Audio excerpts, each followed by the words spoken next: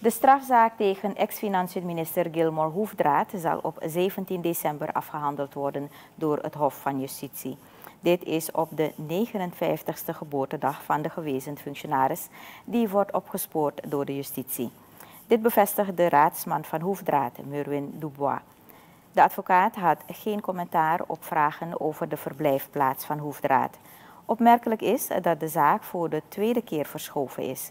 De uitspraak was voor 29 juli gepland en werd verdaagd naar 5 november. Dit werd enkele dagen geleden verschoven naar 17 december. De vervolging stelde eerder dat het is bewezen dat Hoefdraad het brein is geweest achter het financieel benadelen van de staat door zich schuldig te maken aan deelneming aan verschillende misdrijven. Dubois zegt dat de verdediging blijft hopen op vrijspraak. De advocaten zijn van mening dat er geen bewijs is geleverd dat hij schuldig is.